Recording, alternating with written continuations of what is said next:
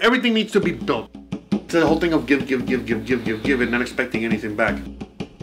Help others enjoy what you enjoy just as much. Whether you're just putting YouTube videos, you know, on how to make awesome music, or how to, you know, techniques on how to mix better, or how to, you feel me? Anything. It doesn't matter. Whatever it is you want to do.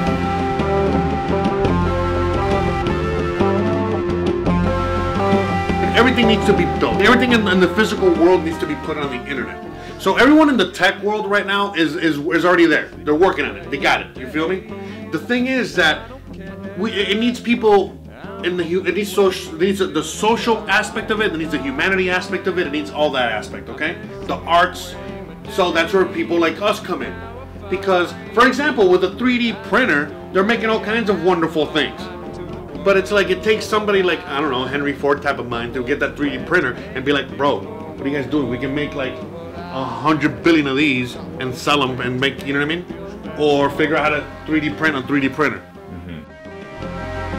Things like that, you feel me? Like I'm telling you, you know what I mean? Like, and it's just like thinking outside the box, not thinking that you're wrong, but thinking that, that knowing that you're right. Start again. I've been sleeping away my days, and I don't care using your your instincts as an artist and using this new medium exactly what that is. It's like the most humongous canvas on the planet.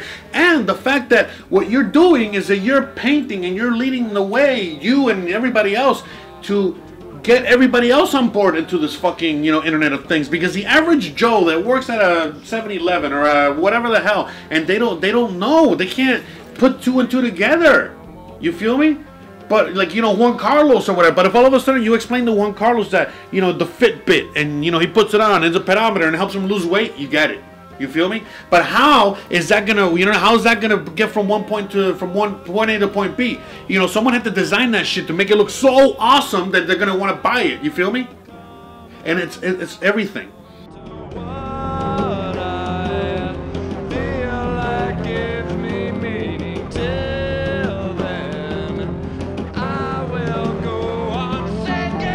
Say you make music, you know what I mean? Or you make, you know, like it's so broad. I change lives. I create businesses. I, I, I motivate people, you know? Give, give, give, give, give, give, and not expecting anything back. Tell me a little about it. Tell, tell me a little about yourself there. Uh, um, so, Abe. you know, I'm, uh, I'm a sound and video artist. Okay, um, tell me a little about that. Meaning, um, sound is my main thing, and I, it's, most of the stuff that I do is experimental. Imposing itself incessantly as the idealized reality, evaluating, amusing, pacifying, yet isolating. Images flutter quickly out of the periphery. so through doing stuff like that, some some other projects that I've done have gone into a public environment and I do a lot of experimental, um, aggressive, abrasive style of singing. I call the project Public Catharsis. And I sing into uh, two recording microphones, and from that, all that sound file, I then process it in post-production and sync it with the video. What happens is you have this, um, you see me singing, but you have this weird, otherworldly type of um, sound that's coming from my body, my voice, and it's from my voice, but it's transformed to the computer, so it gives it a different kind of uh. So, I mean, as of now, you know, I'm seeking different ways I can apply, you know, my, my techniques that I've developed. One type of performance I've done is I've sung into a microphone, I process my voice. I sing into a microphone, and the computer, I, I program these algorithms that the computer will take my voice and it will process it and it will make it into musical themes.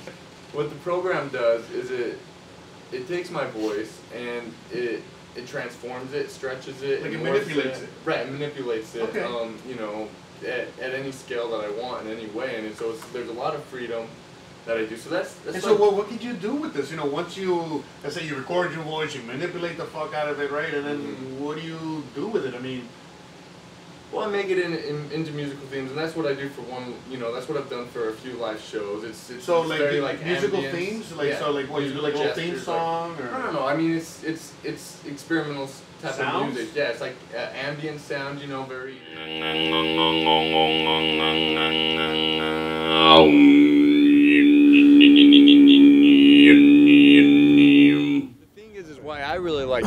Is even if you use it for stereo, um, stereo mixing, you know, because that's what Ambisonic also does. It has a lot more powerful of an effect of really giving you that idea, the listener, an idea of spatialization coming, coming at you. So this is why I wanted to give you a demonstration. We're here on gravel. You know, you can hear it and I'm gonna walk around. It'll have a little more of like a circular effect, of a more natural effect. That's how powerful it is. Interesting. You know, it gives a better perception of sound moving through space. Okay. So I mean, so here I go. Go at it, man, go. You know, I'm walking around. We got you, we got we got the idea.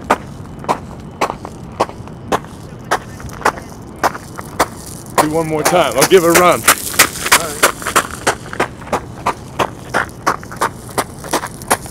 So if you're listening for it, you should have, you know, noticed that it kind of had more of a circular uh, motion. I'll tell you, I'll tell you probably the most viable way it could happen commercially.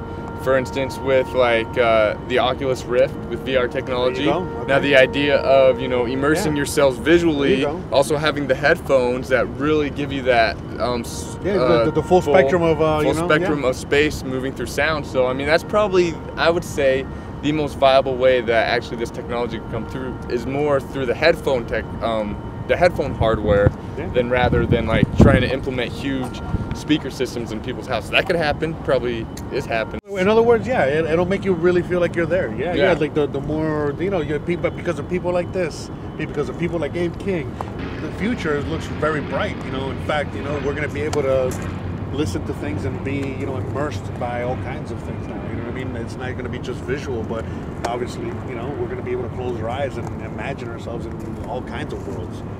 That's definitely, I mean, the way that technology seems to be working. We want Yeah. more immersion. We want to be feel like we are in that other space. All right. Thanks.